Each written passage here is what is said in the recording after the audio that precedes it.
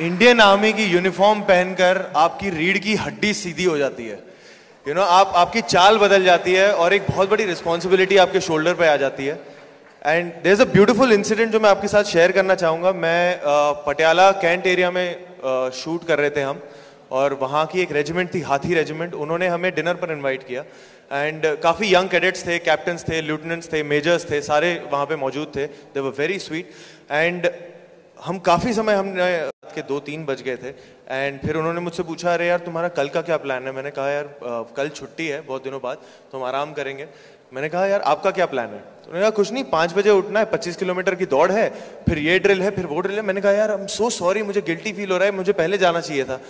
And he said something which I will never forget in my life he said with a smile on his face कहते, अरे विकी कोई दिक्कत नहीं, हम रो, आज को आज की तरह जीते हैं, क्योंकि हमें नहीं पता कि कल हमारी तस्वीर कब अखबार में आ जाएगी।